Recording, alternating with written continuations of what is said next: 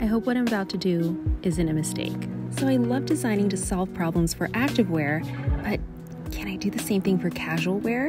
Could I call it active casual? Well, let's find out with my first design. First, notice how these pleats and this low empire waist work together to give you a very belly-friendly, bloat-friendly design that also gives you an hourglass shape. Obviously, there are pockets and also it's a drop crotch, so it's very long torso safe.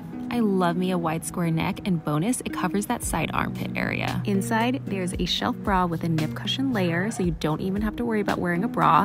Look at these wide, flowy legs with multiple inseams so you can find your perfect length. You guys, this is the Go with the Flow jumpsuit. I specifically wanted to start with the one piece because, first of all, I love them, and secondly, it saves me so much time when getting ready. Bonus, you're gonna love the way your butt looks in this. But wait, can you make one with long sleeves?